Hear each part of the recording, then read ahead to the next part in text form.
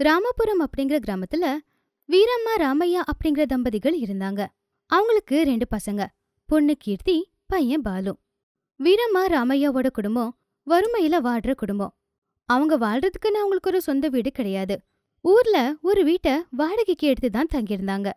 வீரையா ராஜம்மா தினமும் கூலி வேலைக்கு போய் அவங்களால முடிஞ்ச பணத்தை அவங்க சம்பாதிச்சுக்கிட்டு இருந்தாங்க.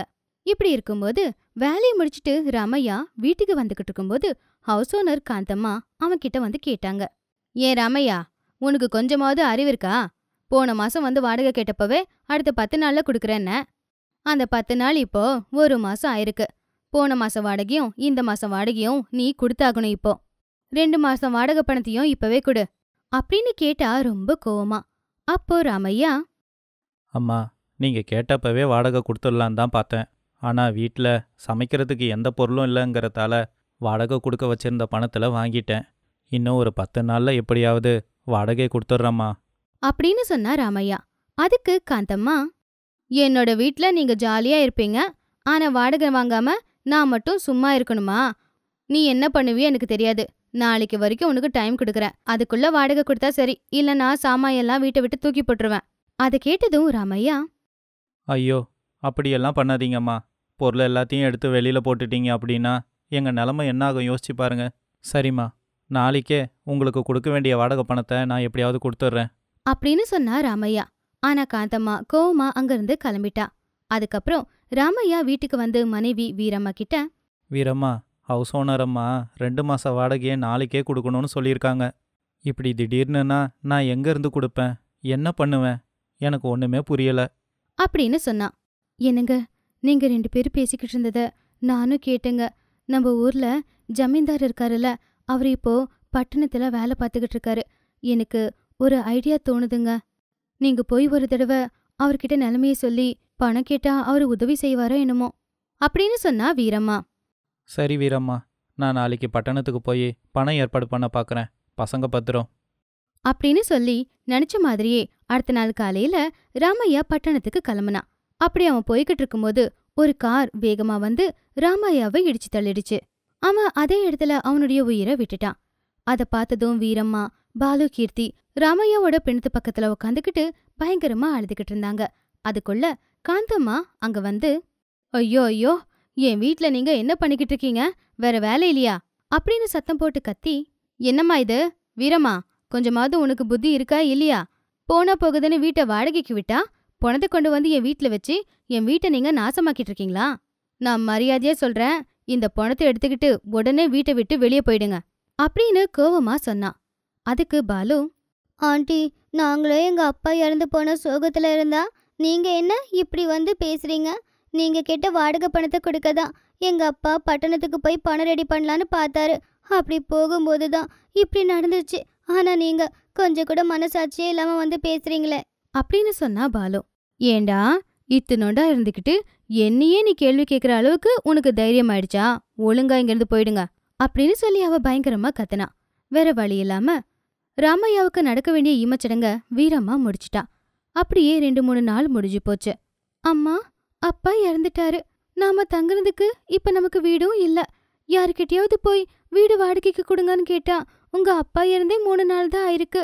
அதுக்குள்ள உங்களுக்கு எப்படி வீடு கொடுக்கறதுன்னு கேக்குறாங்க. நமக்கு யாரும் வீடு கொடுக்க மாட்டாங்கம்மா. அதனால நாம நம்ம ஆத்துக்கு பக்கத்துல பெரிய பெரிய பைப்பை கொண்டு வந்து வச்சிருக்காங்க இல்லையா? அந்த பைப்பை யாரும் பயன்படுத்துறதில்ல. நமக்கு ஒரு வீடு கிடைக்கிற வரைக்குமாச்சும் நம்ம அங்க போய் தங்கிக்கலாமா? அப்படின்னு சொன்னா கீர்த்தி.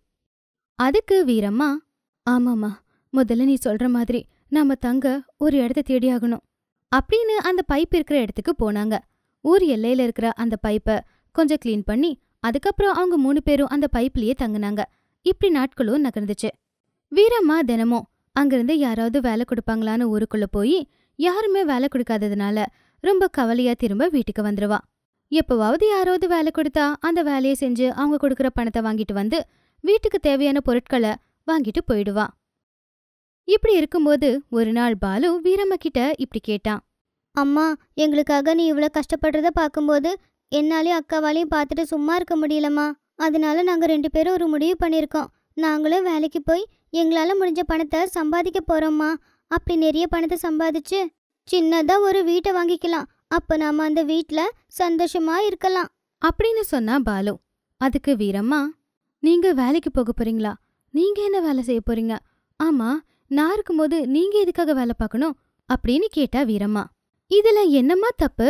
உனக்காக நாங்க வேலை செய்யறது தப்பா? உனக்காக நாங்க வேலை செய்யறோம்னு சொல்றது உனக்கு கஷ்டமா இருக்கும் ஆனா? மொத்த பாரதியும் உன் தலைமையில போட எங்களுக்கு விருப்பம் இல்லம்மா. எவ்வளோ நாளுமா நம்ம நல்லபடியா ஒரு வீடு கட்டுற வரைக்கும் தானே நம்ம கஷ்டப்பட்டுக்கிட்டு இருக்க போறோம்? வீடு கட்டினதுக்கப்புறம் நாங்களும் எல்லா பசங்க மாதிரி ஸ்கூலுக்கு போய் படிக்க தானே போறோம்? அப்படின்னு சொல்லி கீர்த்தி அடுத்த நாள்ல இருந்து தம்பியை கூட்டிட்டு காட்டுக்கு போய் அங்கிருந்து விறகு வெட்டி எடுத்துட்டு வந்து அதை வித்து பணம் சம்பாதிக்க ஆரம்பிச்சாங்க. அப்படி நிறைய நாட்களுக்கு அப்புறம் அவங்க நிறைய பணத்தை சம்பாதிச்சாங்க. அப்படி சம்பாதிச்ச பணத்துல அவங்களுக்குன்னு ஒரு சின்ன வீடை கட்டிக்கிட்டாங்க. கவர்மெண்ட் ஹாஸ்டல்ல சேர்ந்து படிச்சுக்கிட்டு இருந்த கீர்த்தி பாலு ரெண்டு பேரும் ஹாஸ்டல் செவரை எகிரி குதிச்சு வெளியே போய்கிட்டு இருந்தாங்க. அப்படி அந்த செவரை தாண்டி கொஞ்ச தூரம் போனதுக்கு அப்புறம் தம்பி பாலு அக்கா கீர்த்தி கிட்ட இப்படி கேட்டான். அக்கா அப்பா அம்மா ரெண்டு பேரும் ஸ்கூல்ல படிக்கிறதுக்காக தானே சேர்த்து விட்ருக்காங்க ஆனா எதுக்கு நீ இப்போ வலுக்கட்டாயமா செவரை தாண்டி என்ன நீ எங்கேயோ கூட்டிட்டு போய்கிட்டு இருக்க?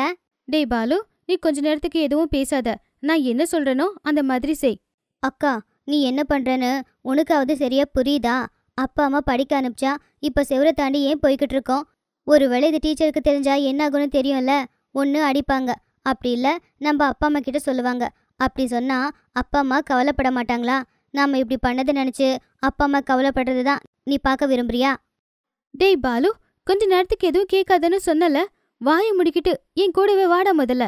அப்படின்னு சொல்லி அப்பதான் கட்டிக்கிட்டு இருந்த ஒரு வீட்டு பக்கத்துல கூட்டிட்டு போனா கீர்த்தி. அங்க இருந்த ஒரு மேஸ்திரியை பார்த்து கீர்த்தி இப்படி சொன்னா. ஐயா என் பேர் கீர்த்தி. இது என்னோட தம்பி. இவன் என் கூட தான் படிக்கிறான். உங்ககிட்ட எப்போ வந்து வேலை கேட்டாலும் நீங்க வேலை கொடுப்பீங்கன்னு என்னுடைய நண்பர்கள் சொன்னாங்க. அதனால தான் உங்ககிட்ட வேலை கேட்கலான்னு வந்திருக்கோம் ஐயா. என்னது? உங்களுக்கு வேலையா? அது சரி. இந்த வயசுல வேலை செய்யற அளவுக்கு உங்களுக்கு அப்படி என்ன கஷ்டம் வந்துச்சு?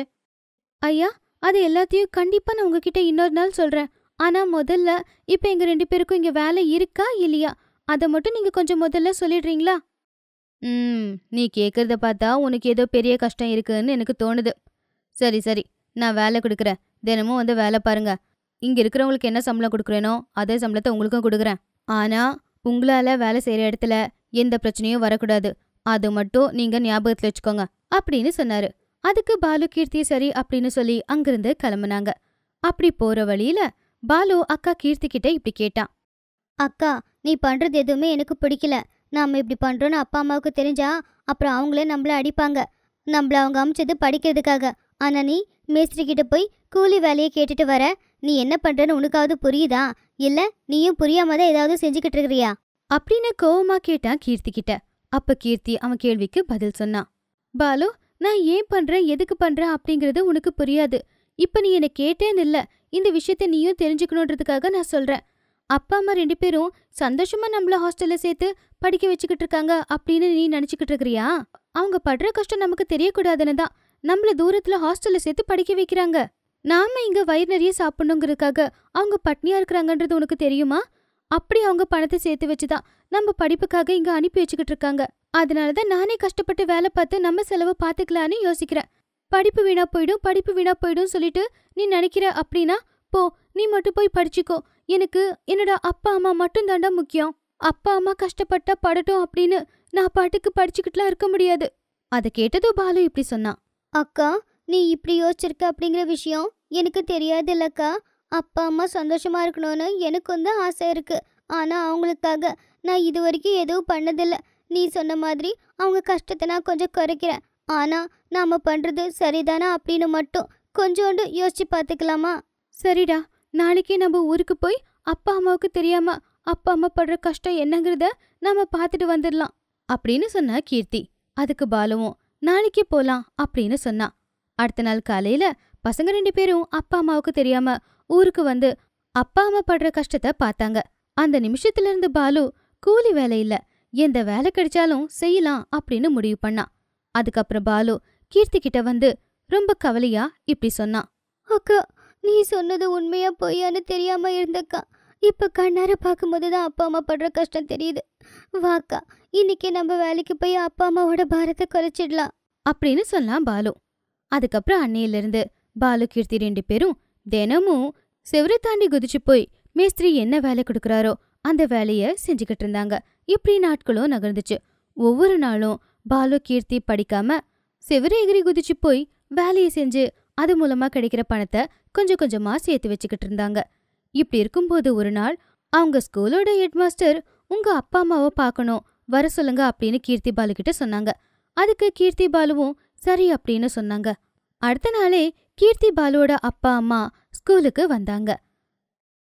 உங்க பசங்க ரெண்டு பேரும் கிளாஸ் ரூமுக்கு வர மாட்டேங்கிறாங்க தினமும் செவுர் தாண்டி குதிச்சு போய் ஏதோ கூலி வேலையை செஞ்சுட்டு வராங்க அப்படின்னு சொன்னாரு ஹெட்மாஸ்டர். அதை கேட்டு அப்பா அம்மா ரொம்பவே ஆச்சரியப்பட்டாங்க.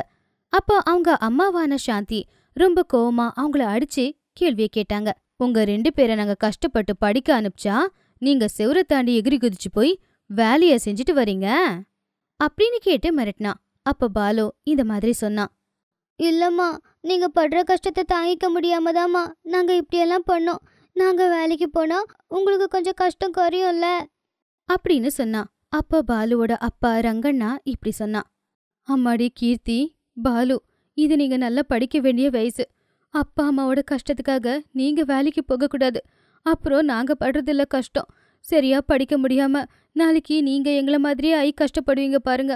அதுதான் பெரிய கஷ்டம். அப்புறம் வாழ்க்கை பூரா கஷ்டம் மட்டும்தான் படணும். அதனால தான் நல்லபடியா படிச்சு நல்ல வேலைக்கு போகணும் நீங்க. அதுதான் நீங்க எங்களுக்கு கொடுக்குற பரிசு. இனி எப்பவும் இப்படி பண்ணக்கூடாது அப்படின்னு சொன்னாங்க அப்பா அம்மா ரெண்டு பேரும். அதுக்கப்புறம் அன்னையிலேருந்து கீர்த்தி பாலு செவரு தாண்டி குதிச்சு போய் வேலையெல்லாம் பார்க்காம நல்லபடியா உட்காந்து படிச்சு நல்ல மார்க் எடுத்தாங்க.